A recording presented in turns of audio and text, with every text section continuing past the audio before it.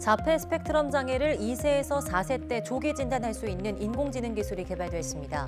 미국 루이빌대 생명공학과 연구팀은 비정상적인 신경 연결을 포착할 수 있는 특수 자기 공명 영상 분석을 이용해서 자폐아를 진단하는 인공지능 시스템을 개발했다고 밝혔습니다. 연구팀은 생후 24개월에서 48개월 사이 아이 220여 명의 뇌를 특수 자기 공명 기기로 촬영한 뒤 기계 학습 알고리즘을 통해 자폐아 뇌에서 보이는 특징적 패턴과 비교 분석하도록 했습니다.